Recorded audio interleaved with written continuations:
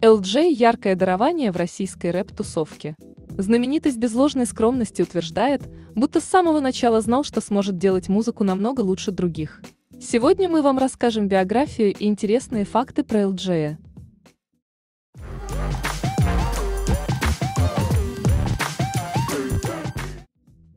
Настоящее имя рэпера LJ – Алексей Константинович Узенюк. Он родился в Новосибирске 9 июля 1994 года. Музыкального образования у Алексея не было, он осваивал вокал и музыкальное мастерство, одновременно учась в школе, а затем в медицинском колледже. Предстояло сделать выбор. Либо он продолжит учебу и бросит музыку, либо пожертвует ради музыки своим образованием и будущей работой. В 2009 году Алексей идет в банк бросает учебу в колледже и курсы вокала. Позже на пике успеха певец Элджей скажет, что университет, работа – это для тех, кому нечего сказать людям. Он выбрал творчество, потому что был готов к самовыражению.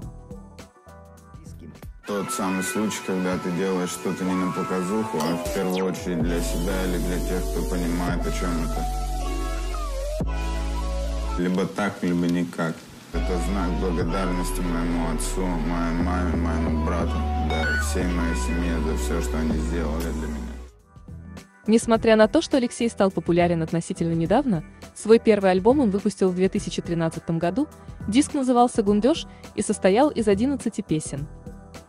Наверное, всем интересно, что же значит сочетание Сайонара Бой, которое встречается во всех песнях артиста. Так вот, это альбом Узенюка, который вышел в 2016 году. Тогда он принял решение записать пластинку с совершенно новым звучанием. Сайонара с японского означает «до свидания». Так исполнитель прощается со своим старым стилем и выходит на новую ступень творчества. Самый распространенный вопрос, который слышит Узенюк, о глазах-стекляшках.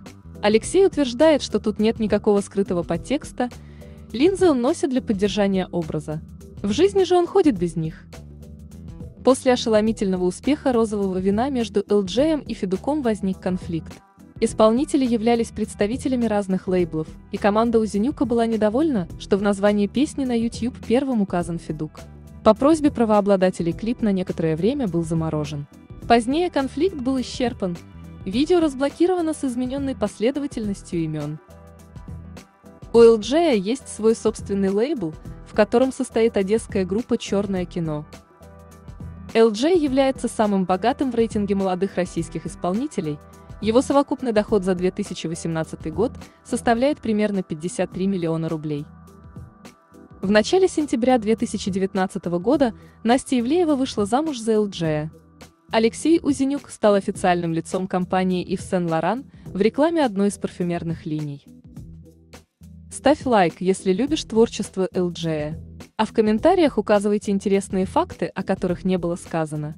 Также не забывайте подписаться на наш канал и нажать на колокольчик. Впереди еще много интересных выпусков.